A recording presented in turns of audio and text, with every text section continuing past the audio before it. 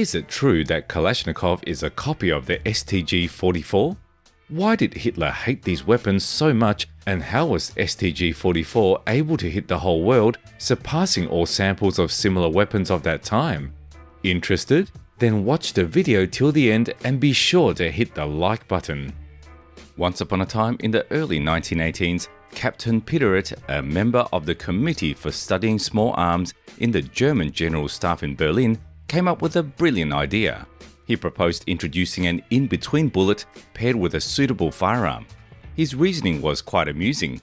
Apparently, most firefights rarely happened beyond 800 meters, which is roughly half of the maximum range of the Mauser 98 rifle, firing the 7.92 by 57 cartridge and even less than the maximum range of the MG08 machine gun.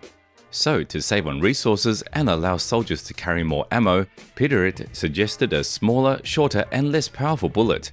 Imagine soldiers being able to carry a ton of ammo and unleashing a mighty barrage of firepower. And guess what? With reduced recoil, they could even create semi-automatic or fully automatic rifles with selective fire.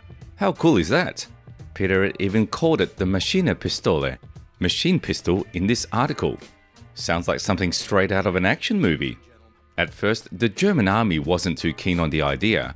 They already had the MP-18, a submachine gun firing 9mm pistol rounds, and didn't want to invest resources in developing a new cartridge and weapon for it. But hey, time changes everything, right? By 1923, they had a change of heart and demanded a replacement for the Gewehr 98 rifle. Their wish list for the new firearm was quite hilarious. It had to be smaller and lighter than the Mauser, have similar accuracy up to 400 meters, and come up with a magazine capacity of 20 or 30 rounds.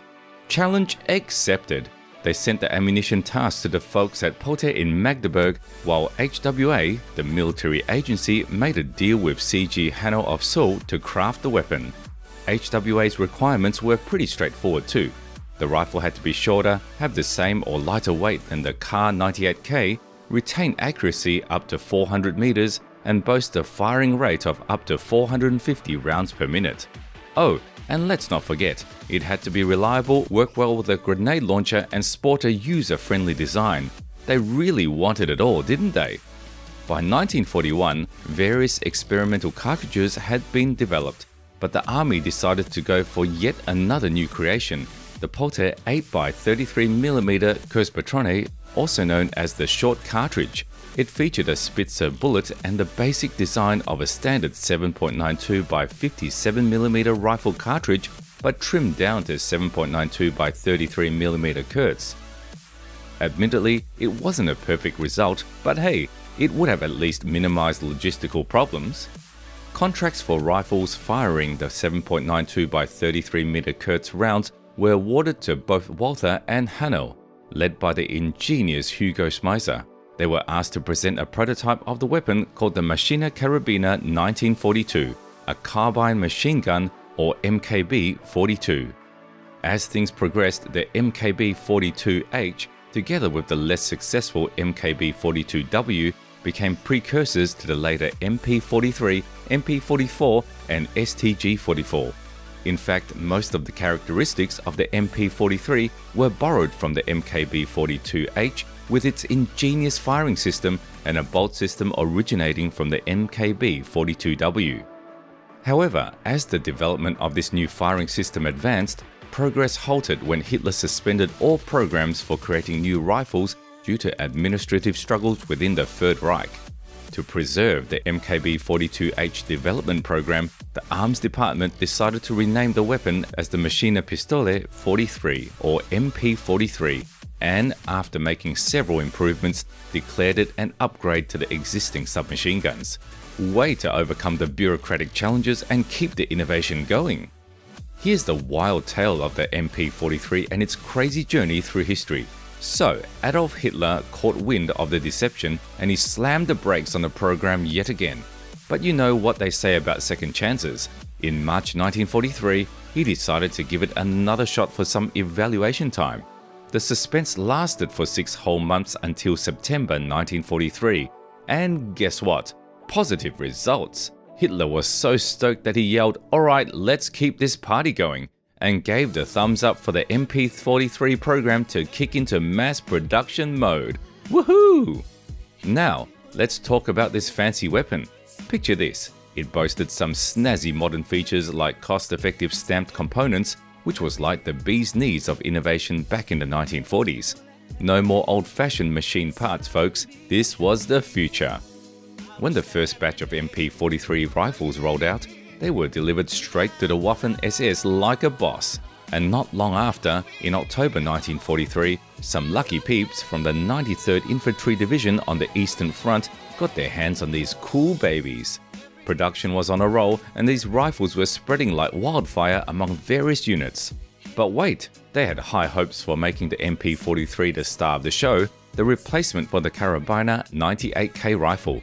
However, it turned out to be a bit of a comedy of errors. The MP43 cartridge just couldn't handle the pressure. It was too wimpy for rifle grenades and too much of a scatterbrain for sniper shots. And hey, the gun itself was just too short for some serious bayonet action. Bummer. So they had to settle for Plan B. In September 1943, they declared that the MP43 would be more like the Kar 98K's trusty sidekick, complementing it rather than taking over the spotlight. They had to make some adjustments though, say goodbye to the optical sight mount, extended grenade launcher barrel threads, and the bayonet lug. Off they went. But the saga continues. In April 1944, Hitler had a sudden change of heart and got curious again about weapon trials. He shouted, Let's give this baby a makeover, and decided to rename it to MP44 with a few little updates for flair. Fast forward to July 1944, he's hanging out with the army commanders on the Eastern Front and asked, What's the scoop, generals? One of the generals couldn't contain his excitement and cried out, We need more of these rifles. Talk about a surprise party. Hitler was all like, Wait, what new rifle are you talking about? But then, ta da! When he saw the MP44 in action, he was totally blown away and thought, This is it. It needs a catchy name. So he christened it Sturmgewehr. And to add some pizzazz to the whole thing, they changed the name yet again to Sturmgewehr 44, giving it a serious dose of wow factor. And that's how the term assault rifle entered the history books. What a rollercoaster ride, right? Let's dive into the wild world of the MP43, MP44, and STG 44. They're like the Three Musketeers, but in rifle form. Picture this they might have had a little makeover here and there during production, but at heart, they're all the same rifle, just with different outfits. It's like giving your favorite car a fresh coat of paint and some cool new rims, still the same beast under the hood. Now let's get to the juicy stuff. These bad boys were on a mission to take down those sneaky Soviet submachine guns like the PPSH 41 and PPS. Those cheeky submachine guns were all about those zippy 7.62 by 25mm Tokarev cartridges, packing quite a punch with their 71 round drum mags or 35 round box mags. But guess what? The STG-44 was no slouch in close combat. It might have been a tad shorter than the Kar 98K rifle, but it could dance circles around those submachine guns in up close and personal battles. Oh, and hold on to your hats because the STG-44 brought some serious firepower to the party. Even though it couldn't match the Kar 98K's range, it outshot those PPSH machine guns and had more power to boot. It was like having a Swiss Army knife of rifles, versatile, adaptable, and ready to rock and roll. You could even switch between fully automatic and semi-automatic fire on the fly, and boy was it precise for its size. Talk about a compact powerhouse, folks. Let's break it down a bit further. The STG-44 was the cool kid on the block back in its day. With its long barrel, its bullet zoomed at 685 meters per second or over 2000 feet per second. Not as fast as the Kar 98K, but still faster than the British Bren and the M1 carbine. And thanks to its sleek linear design, it was like wielding a lightsaber on the battlefield. Handling it in full auto mode was a breeze. It was practically dancing in the hands of the soldiers. In a nutshell, the STG-44 gave individual soldiers an unprecedented amount of firepower compared to the old school firearms. It was like upgrading from an old clunky phone to the latest, shiniest smartphone. No wonder other countries were like, we need some of that action too, and jumped on the assault rifle bandwagon. the STG-44 wasn't just another rifle. Oh no, it was the trailblazer, the trendsetter. The very first successful assault rifle paving the way for others to follow. It had those game-changing features like the intermediate cartridge and controllable automatic fire. Imagine it like the first iPhone. It changed the game, baby! Back in the day, other rifles were all about sniping targets from far away. But guess what? Most battles happened within a few hundred meters, so the STG-44 was tailor-made for those up-close and personal encounters. Of course, with fame comes some playful teasing. The Brits couldn't resist a little fun saying, your stock can bend and your bolt can get stuck. Oh, the drama. But hey, nobody's perfect, right? And the US folks were like, yeah, it's alright, but kind of bulky and not as sleek as we'd like. But hey, even they had to admit its accuracy was top notch for its kind. It's like being a rock star. Some haters, some fans, but you keep on rocking. Other countries soon fell head over heels for this assault rifle concept and made their own versions.